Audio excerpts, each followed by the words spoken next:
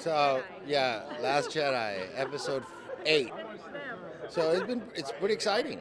Pretty excited to to be here with uh, seeing the cast, seeing Rian Johnson, the director.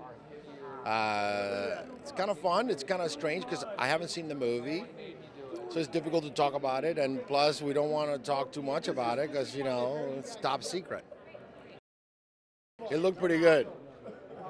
The behind the scenes is one of the best behind the scenes I've ever seen.